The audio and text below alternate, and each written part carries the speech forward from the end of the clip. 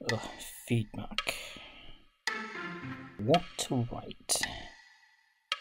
Gotta be constructive, supportive. What to say?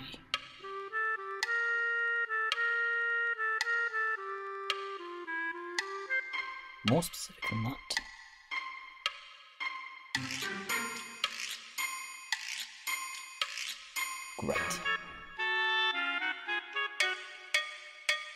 Okay, let's talk feedback. This is one of those things that gets talked about a lot, and I really do mean a lot. It's a constant source of comment from students. It's the subject of almost every other talk at teaching and learning conferences. And it's basically not just a question, but an entire section on the National Student Survey. And the results of that really do stick out. One of these things is not like the others. But as I mentioned in the video on league tables and rankings, uh, when it comes to the NSS, we don't actually know how students respond to these questions. We don't fully understand what feedback means in this specific context. But we do know that it's influenced by what people perceive to be feedback. So the question is do we, as universities, provide poor feedback, or do students just not know how to recognise and use it? Yes, the answer is a bit of both. We as universities do need to do a little better in providing better feedback, stuff that's more useful, more applicable, better signposted, and we need to structure assessments in a way that takes advantage of the ability to provide those constructive comments. At the same time, we have some indications that suggest students only really view something as feedback if it's written and it's written physically on the work itself. Like that makes some sense. That's that's how feedback works at school. It's the model that's influenced a decade or more of your life, and it's the most obvious candidate for what feedback is. But it is a very limited view of the idea, and that perception is a big barrier to us providing the better feedback. So I'm going to spend the rest of this video talking about all of this. Uh, what is feedback? Where does it actually come from? Where can you find it? And how do you use it?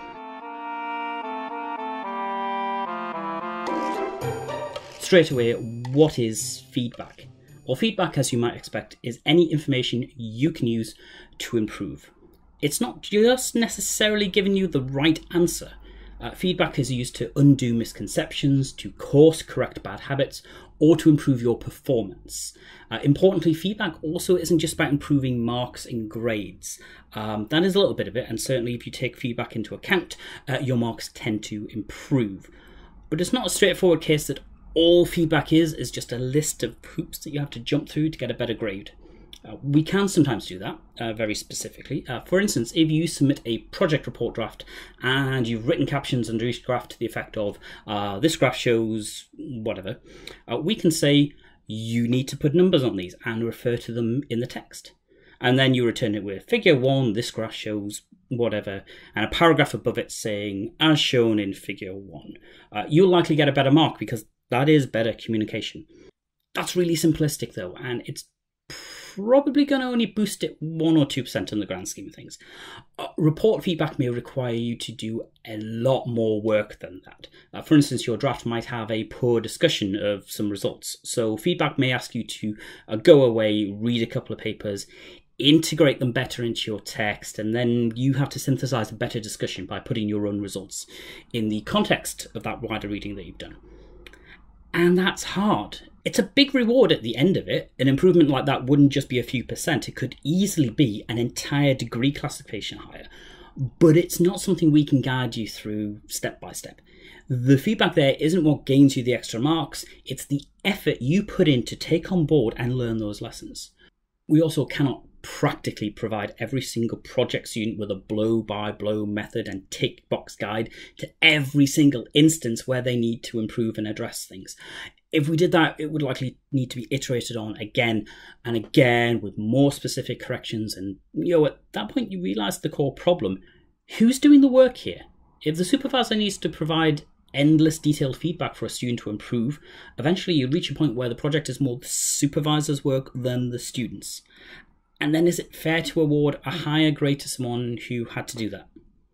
So that's the key tension that exists with feedback. There's a balance between course correcting guidance and us pretty much doing the work for you. Um, this is why we try to clarify responsibilities about feedback in advance. For instance, uh, marking one draft of the report only, uh, providing some personal feedback and some class feedback, giving some kind of indication of where you will find it.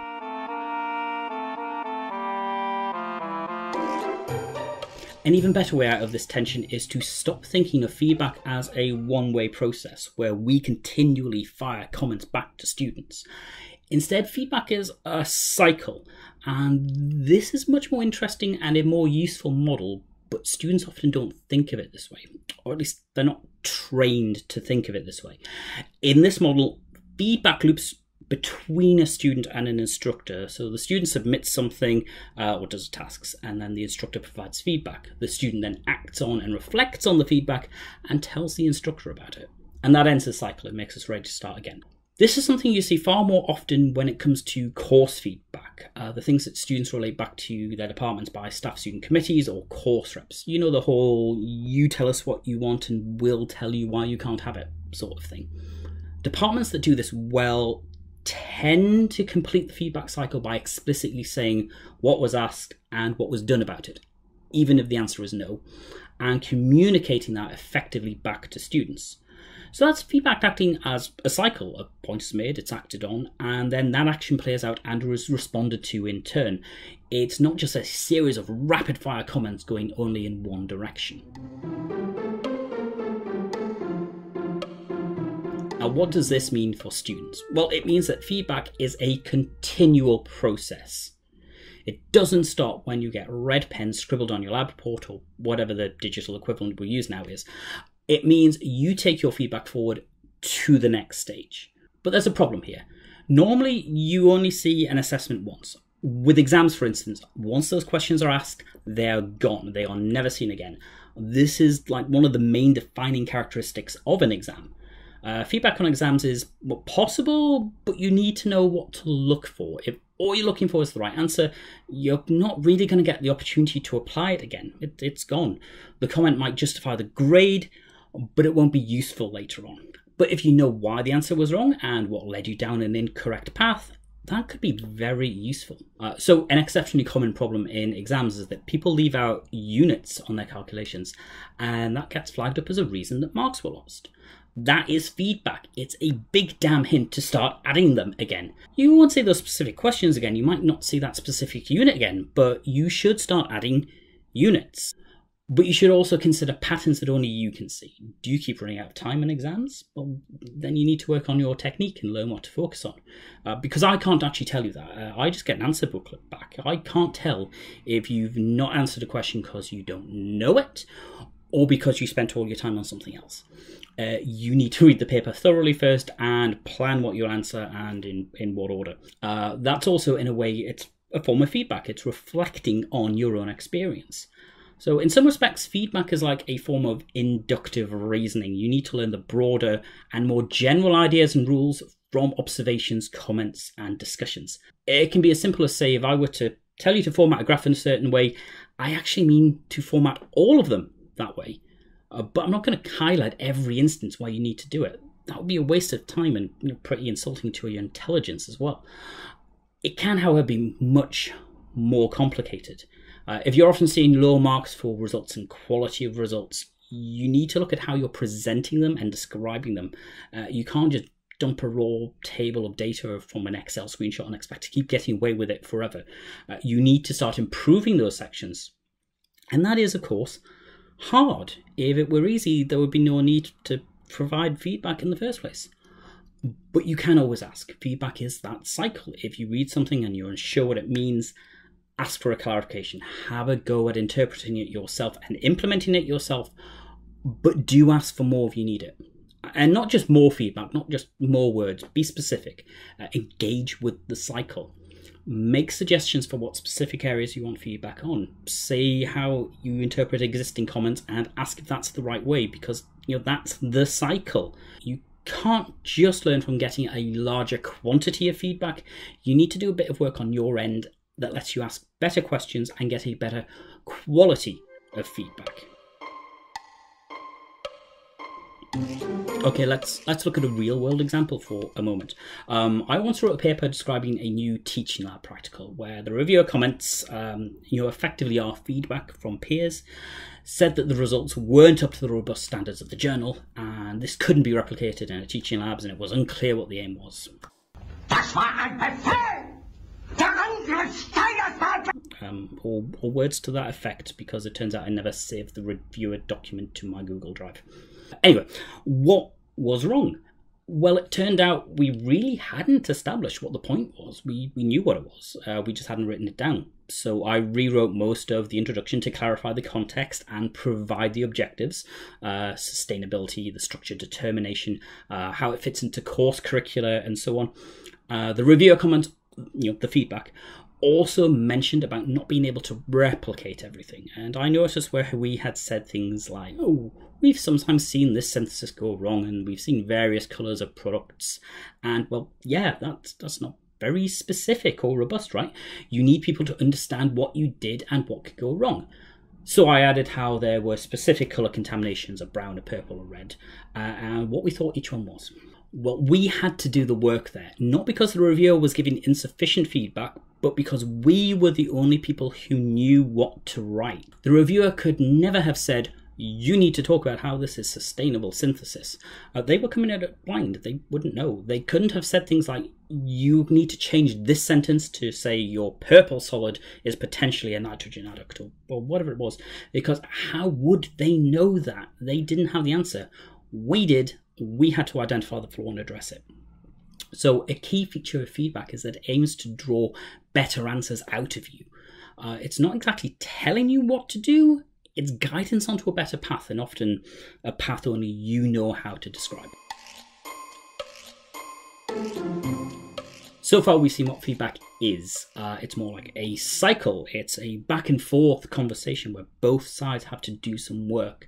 Um, and it's also aimed at getting you to pr- improve in general ways that can be broadly interpreted rather than correcting minor specific answers one by one.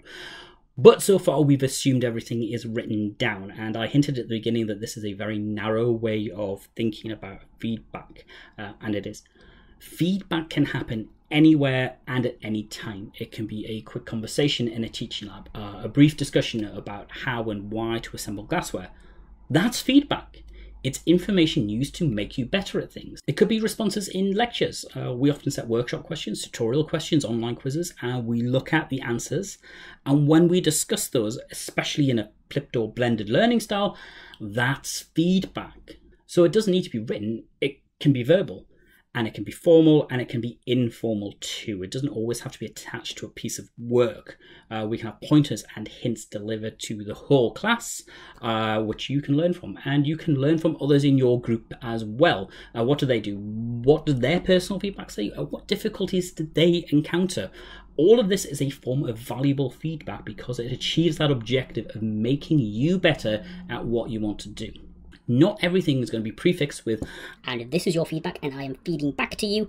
although there's an argument that if we did that a lot, our NSS scores would improve without having to change anything. Like, like seriously, when I was a PhD student, we used to like you do debrief sessions, and then we changed the name to feedback sessions, and then suddenly the I received enough feedback scores on the evaluations went up.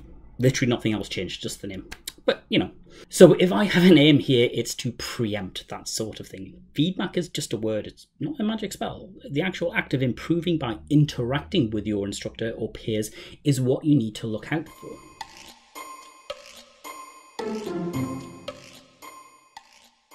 So, practically, what can you do with feedback once you've learned to recognize it?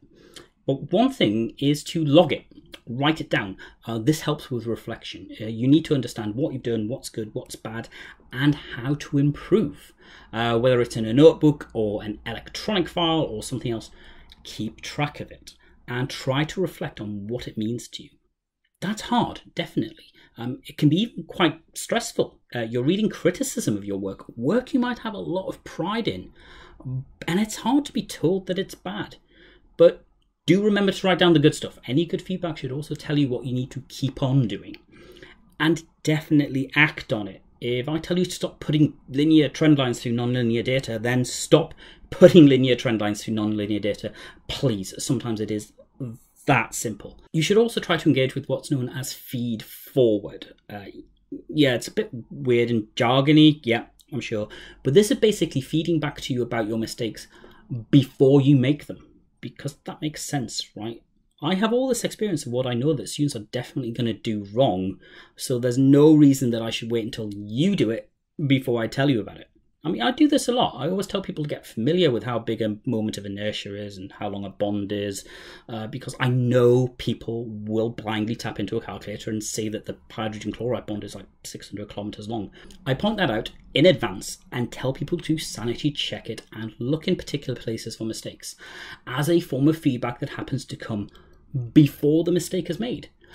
So that's a, a small tour around feedback. Uh, there's a lot of it about, but you need to be open to it. There's no one simple trick, there's no easy set of hoops to jump through. But if you can learn to recognize it and you can learn to use it, then you're set up to succeed pretty much forever.